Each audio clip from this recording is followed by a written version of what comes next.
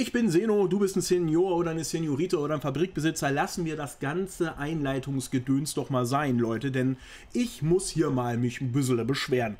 Es gibt drei unglaublich nützliche, versteckte Features in Factorio, die das Spielerlebnis auf ein ganz anderes Level heben. Aber sie sind so versteckt, dass sie kaum ein Spieler kennt.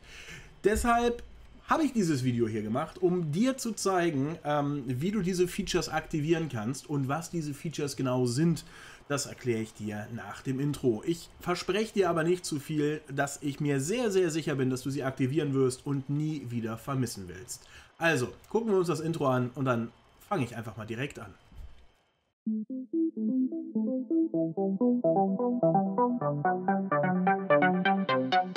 Ich befinde mich auf meiner aktuellen Karte, die ich im Livestream bei Twitch spiele. Rufe ich jetzt die Minimap auf und gebe euch eine kleine Kamerafahrt äh, von meiner Fabrik, von meiner Basis, dann kriegt ihr zwar einen generellen Eindruck davon, wie ich alles aufgebaut habe, aber euch fehlen einfach wichtige Details und ihr wisst nicht, was, wo, wie viel hergestellt wird. Eine Möglichkeit wäre natürlich einfach bei mir auf dem Twitch-Kanal mal vorbeizuschauen. Hier unten findet ihr den Link dazu. Ansonsten einfach mal runterscrollen unter das Video in die Videobeschreibung. Da findet ihr den Link auch ganz easy zum Copy-Pasten.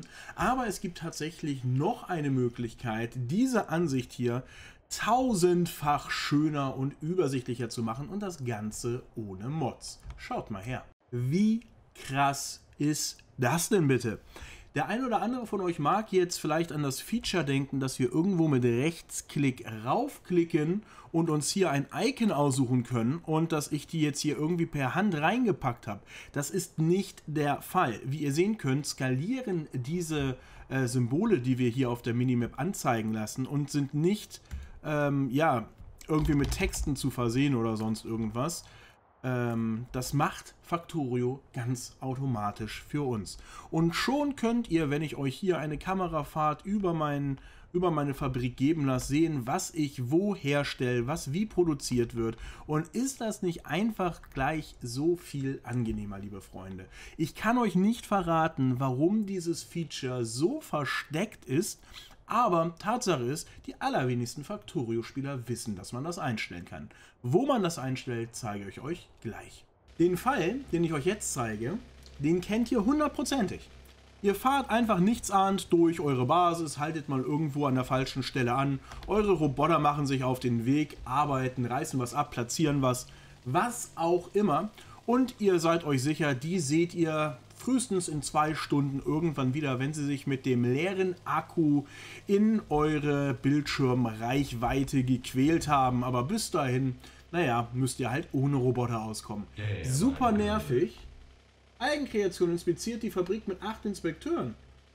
Wow, wo kommt das auf einmal her? Passt aber tatsächlich ganz gut zum Thema gerade, denn beim nächsten supergeheimen Factorio-Feature geht es quasi um Überwachung.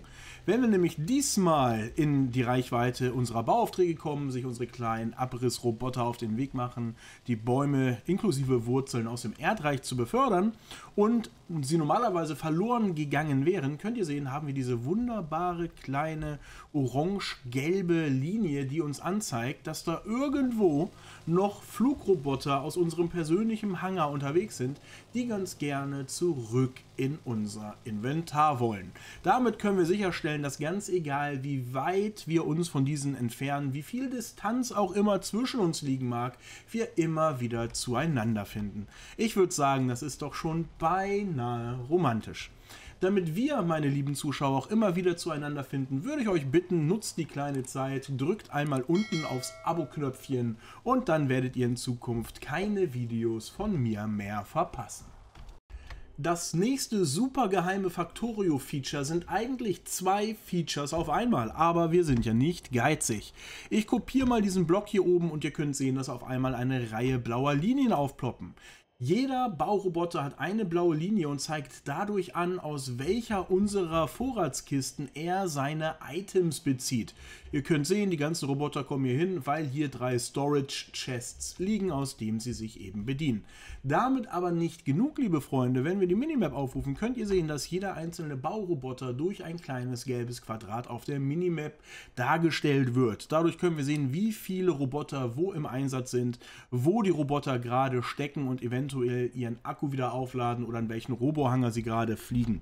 Wenn wir das Ganze da oben jetzt einmal rückgängig machen und wieder abreißen, könnt ihr sehen, dass sobald sich die Bauroboter ihre ersten Gegenstände geschnappt haben, ebenfalls diesmal durch gelbe Linien angezeigt wird, in welche unserer ähm, ja, Lagerkisten, Logistikkisten das Ganze ähm, reingepackt wird und gelagert wird. Also auch hier wieder ein kleines Feature oder zwei kleine Feature, die der Übersicht halber wirklich, wirklich großartig sind und für meinen Geschmack einfach in Vanilla Factorio gehören.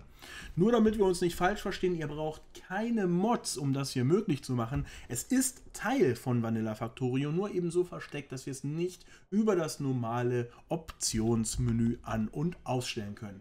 Wie ihr das Ganze einstellt? Naja, ein Druck auf eure F4-Taste wird euch weiterhelfen.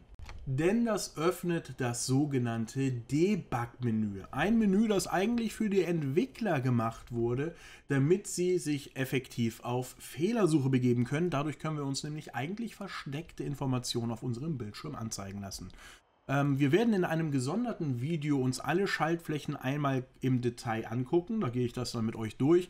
Ähm, als ein Beispiel hier die oberste Option zum Beispiel. Dadurch können wir uns die Informationen über unsere FPS und UPS direkt in Factorio anzeigen lassen. Dann könnt ihr sehen, ob euer Spiel auf 100% Auslastung läuft und alles so super ist oder ob es irgendwelche FPS oder UPS Einbrüche gibt. Im Rahmen dieses Videos interessieren uns aber die vier Optionen, die wir sehr weit unten finden. Und zwar Show Player Robots, Show Recipe Icons on Map, Show Logistic Robots on Map und Show Logistic Robot Targets. Ähm, fangen wir mal bei unten an, von unten an. Show Player Robots, das ist genau diese Option, die ich euch eingehend erklärt habe, dass wir eben einen Balken haben, der uns zeigt, wo unsere eigenen persönlichen Flugroboter hinfliegen. Show Recipe Icons on Map. Das ist die Option, die an- und ausstellt, ob wir ähm, die Symbole auf der Minimap sehen wollen oder nicht. Ja, ich toggle das mal ein bisschen an und aus, dann könnt ihr da sehen. Show Logistic Robots on Map, natürlich, das sind die kleinen fliegenden Quadrate, die uns anzeigen, wo unsere Roboter sind. Und Show Logistic Robot Targets, das ist eben der äh, Strich, der uns anzeigt, wo die Roboter gerade hinfliegen. Mit diesen vier Checkkisten hier könnt ihr euch also wirklich das Spielgeschehen sehr viel angenehmer gestalten. Wem das zu viel Gewusel ist, der hat natürlich immer die Möglichkeit, diese Option einfach wieder auszustellen. Ihr müsst dazu nicht irgendwie im Menü sein oder speichern und laden. Das aktualisiert sich einfach, sobald ihr das Häkchen an- oder ausmacht. Solltet ihr mal keine Lust auf Factorio haben und überlegen, ob ihr euch nicht ein paar neue Games kauft, dann überlegt doch bitte meinen MMOGA-Link zu benutzen. Wenn ihr Spiele über diesen Link kauft, kostet euch das keinen Cent mehr, aber ich bekomme eine kleine Provision, was eine super Möglichkeit ist, mich einfach ein bisschen für diese tollen Videos zu unterstützen, die ich hier für die Community mache. Und ähm, damit sind wir dann im Grunde auch schon am Ende dieses kleinen Tipps und Tricks Videos angekommen. Ich hoffe, das, was ihr gelernt habt, ist hilfreich. Ich hoffe, ich konnte euch etwas Neues zeigen, das ihr hier bisher noch nicht gekannt habt. Wenn ihr das anderen Spielern zeigen wollt, empfehlt meine Videos gerne weiter. Ich wünsche euch noch eine schöne Woche, ja, nee, ein schönes Wochenende, weil wir haben heute Freitag. Ähm, ja, ich freue mich, wenn ihr mich weiterempfehlt, wenn ihr mir einen Daumen nach oben da lasst und wenn wir uns im nächsten Video sehen. Ich bin der Seno und sage Tschüss und bis bald und die Fabrik muss wachsen.